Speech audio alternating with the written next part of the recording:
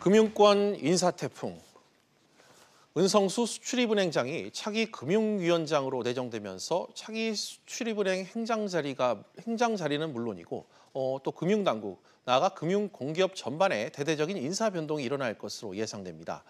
은성수발 금융권 인사 후폭풍 경제부 박규준 기자와 이야기 나눠보겠습니다. 박 기자, 예. 우선 이 은성수 후보자가 금융위원장에 내정되면서 공석이 되는 이 수출입은행장 자리 지금 후보군에 어떤 이름들이 거론되고 있죠? 네, 현재 후보군으로는요, 이 기획재정부의 국제금융국 출신 인사들이 후보군으로 지금 거론이 되고 있습니다.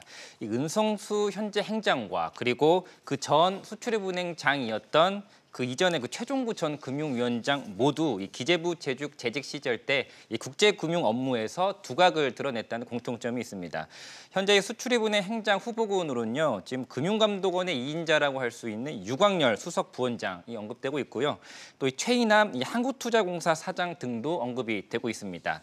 이들 모두의 공통점이 이 기재부에 재직했던 당시에 주로 이 국제금융 쪽에서 경력, 그 커리어를 쌓았다는 공통점이 있습니다. 예. 이 외에도 이 김용범 전 금융위원회 부위원장도 유력한 이 수출입은행장 후보로 지금 거론이 되고 있습니다. 특히 이 김용범 전 부위원장 같은 경우에는요. 현재 공석으로 되고 있는 그 기재부 1차관 자리에도 후보군으로 나오고 있고요. 또 올 12월에 교체가 될 예정인 이 기업은행장 자리에도 하마평에 오르고 있습니다.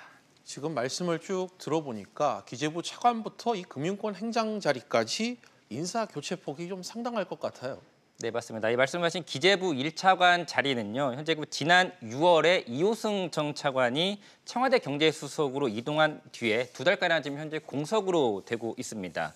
이 김용범 전 부위원장이 만약 이 1차관 자리에 임명이 된다면 이 수출입은행장은 기재부 출신 몫으로 돌아갈 것이다라고 하는 관측, 이런 관측이 나오고요. 예. 만약에 수출입은행장의 현직 인사가 임명이 된다면 이 연쇄적으로 후속 인사의 여파는 커질 것으로 전망이 됩니다. 특히 앞서 말씀드렸던 유광열 현 그 금감원 수석 부원장이 만약 수출입 은행장으로 이동이 된다면 금융위원회는 물론이고 금융 공기업 인사까지도 여파가 커질 것으로 보이는데요. 이 금감원 수석 부, 부원장 자리는 관행적으로 금융위원회 출신들이 맡은 데다가 현재 이병래 예탁결제원 사장 등 금융공기업 수장들이 이 후임 후보군으로 거론이 되고 있기 때문입니다. 네, 뭐 상당히 인사폭과 전망이 복잡한 것 같습니다. 그런가 하면 민간 이 금융사들의 지주회장 등이 수장 교체도 좀 예정이 돼 있다고요? 네, 당장 K뱅크의 수장 자리가 좀 바뀔 것으로 보입니다. 예, 국내 1호 인터넷 전문 은행인 K뱅크의 현재 행장이 심성훈 행장인데요. 임기가 9월에 끝이 납니다. 예. 그래서 현재 그 K뱅크는 후임 행장을 선출하기 위한 절차를 진행하고 있는 상황이고요.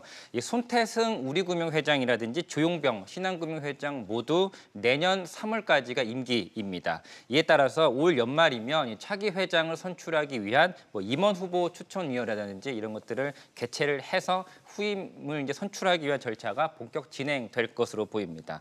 참고로 허인 국민은행장 임기는 올 11월까지고요. 이대훈 농협은행장 임기는 그 다음 달인 올 12월까지입니다. 네, 박 기자 잘 들었습니다.